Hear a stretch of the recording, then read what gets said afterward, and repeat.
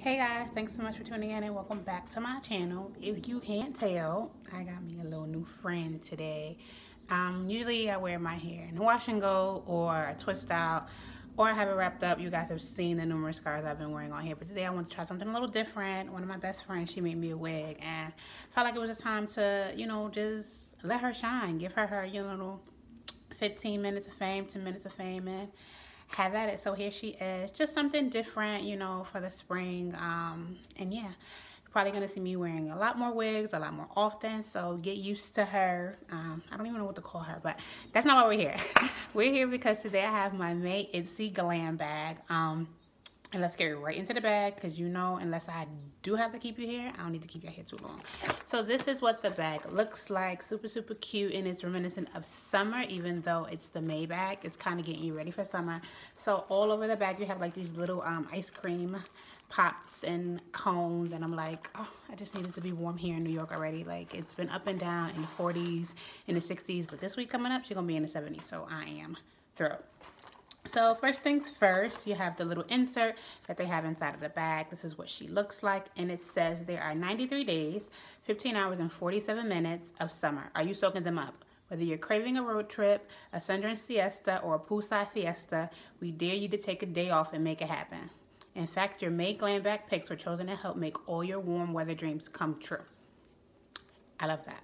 I love that they send um, things in a bag um, curated for the specific month. So that way going into summer, you know, you have certain things and, you know, so forth and so on. So let's start pulling stuff out this bag. The first thing I have is the Hey Honey Besame Mucho Shea Butter and Propolis Lip Balm for dry and chapped lips. This is what she looked like. I love a great lip balm. As you can see, I don't have a lipstick today because sometimes you just need to give your lips a break. Um, we put them through a lot with like the matte lips and lipsticks and lip creams and stains. And sometimes, like today, is a no lippy day. So this I really, really love for summer um, to protect your lips from like the sun because if you didn't know, your lips get affected by the sun just like every other part of your body. The next thing I have is the Urban Decay Afterglow 8 Hour Powder Highlighter in Sin. This is what she looks like. Really, really pretty. I'm going to swatch her for you on the back of my hand. So, let's see. Let's pop this bad boy. Let's get her open. So, I'm just to put some on my ring finger. So, that's what it looks like if you guys can see that and then I'm just gonna put some on the back of my hand. So this is what it looks like. Really, really pretty um, kind of gold glow. Um, really, really nice. I really, really like it. Really, really subtle. I don't have it on right now, but it's really, really pretty for summer. Next up, I have the Trestique. This is the mini matte lip crayon in Tuscan wine. You guys know I'm a sucker for a lip. This is what she looks like, and I'm just gonna swipe her above the Urban Decay. And so that's what she looks like. Really, really, really rich um, red. Um, looks like it has like some type of like blue undertones, but it is really, really gorgeous. And I feel like that's a red that can go with anyone's skin shade, which is really, really great.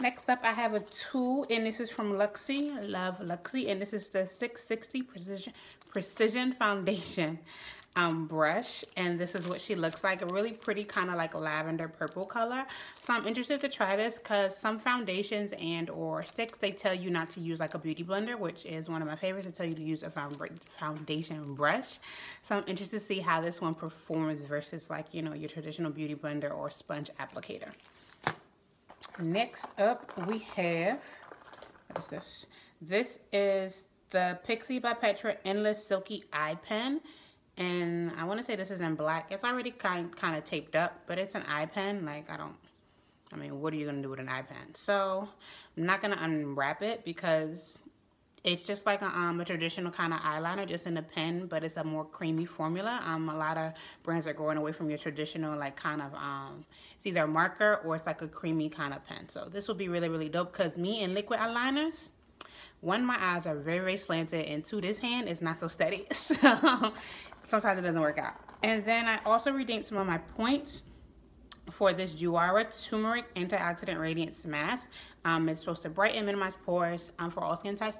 I love this brand. If you haven't heard Juara, get your life. Um, they're really, really great. Um, they focus on um, natural beauty and skincare and I got this mask I want to say as a sample and I tried it and I fell in love with it and I saw this at the Point Perk for Ipsy and I had to grab it and jump on it so if you've never heard of it get you some and if it's still available as a Point Perk go to Ipsy and get one it is amazing you will not regret it that is it for my May Ipsy Glam Bag. Thanks so much for tuning in, guys. Um, let me know what you thought of this video in the comment section below.